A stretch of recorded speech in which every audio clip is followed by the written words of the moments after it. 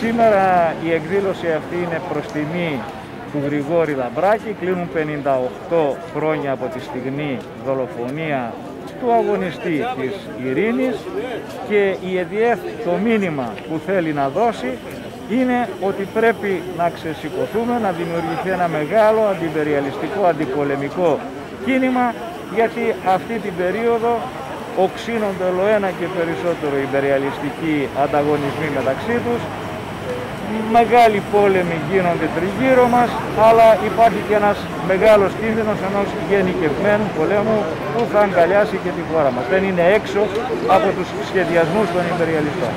Έχουν καταντήσει τη χώρα μας ένα ορμητήριο των υπεριαλιστών απέναντι στους γειτονικούς λαούς και η Επιτροπή για τη Διεθνή Ήβεση και Ειρήνη λέει στον κόσμο ότι δεν έχουμε τίποτα να χωρίσουμε με τους λαούς της Τουρκίας, του Λιβάνου, της Συρίας, ίσα ίσα που μας δένουν κοινές αγωνίες και κοινά προβλήματα.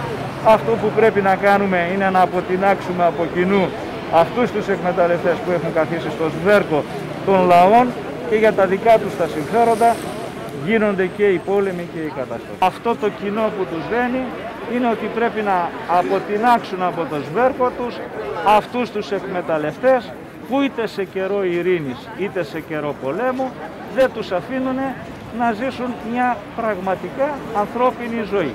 Σε καιρό ειρήνης ποδοπατούν όπως βλέπουμε και σήμερα τι γίνεται τα εργασιακά δικαιώματα με δεκάωρες και δωδεκάωρες δουλειά με κατάργηση του οχτάρου και σε καιρό πολέμου βέβαια διανύζουν τον κόσμο ξεκληρίζουν ολόκληρα κράτη δημιουργούν το χάος και την καταστροφή.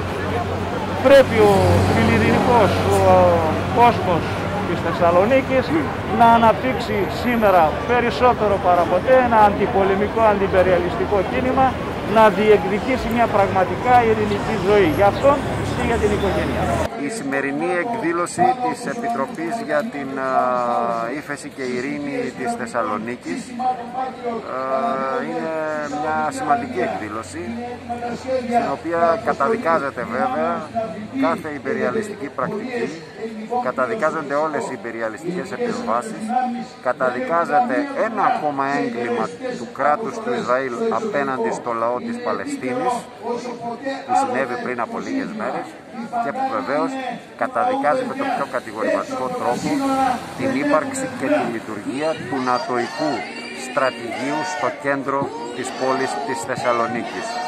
Δεν έχει καμιά δουλειά το ΝΑΤΟ στη Θεσσαλονίκη, δεν έχει καμιά δουλειά το ΝΑΤΟ στην Ελλάδα. Η αποδέσμευση από όλους αυτούς τους δολοφονικούς υπεριαλιστικούς οργανισμούς είναι ανάγκη να πραγματοποιηθεί σήμερα. Ένας είναι ο εχθρός, ο υπεριαλισμός. Έξω το ΝΑΤΟ, αυτό Ευραίο. Λευτεριά, λευτεριά στην Παλαιστίνη. Δεν θέλουμε του ΝΑΤΟ, την προστασία. Έξω τώρα, ελληνικό συμμαχία.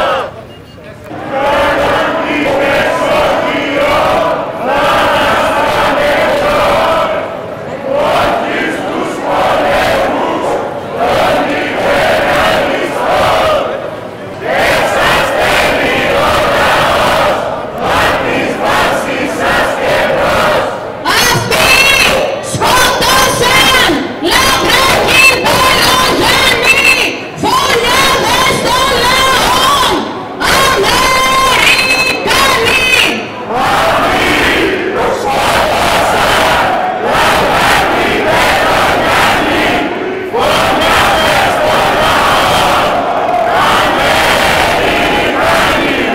να πλαισιώσετε το κίνημα ειρήνης και τις κατατόπους επιτροπές ειρήνης για ένα κίνημα ζωντανό, αντάξιο των δυσκολιών και επικίνδυνων καιρών που διανύουμε. Οι εξελίξεις απαιτούν τη μετατροπή της λαϊκής ανησυχίας σε οργανωμένη δράση απέναντι στην εμπλοκή της χώρας μας στα επιθετικά σχέδια των ΗΠΑ, ΝΑΤΟ και Ευρωπαϊκής Ένωσης απέναντι στις προσπάθειες της κυβέρνησης να ισοπεδώσει τις λαϊκές κατακτήσεις και να μας κάνει σκλάβους του 21ου αιώνα. Συμμετέχουμε στην απεργία της 3 Ιούνιου ενάντια στο νομοσχέδιο τέρας της κυβέρνησης για τα εργασιακά δικαιώματα.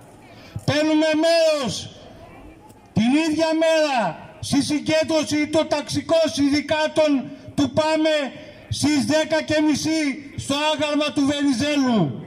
Γεια σας και καλή δύναμη.